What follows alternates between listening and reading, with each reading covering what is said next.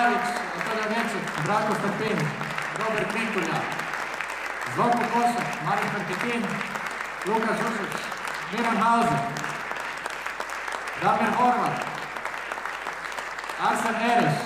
Miro Kadović, Vojka Jocić, Mario Bocić, Elvis Penavoja,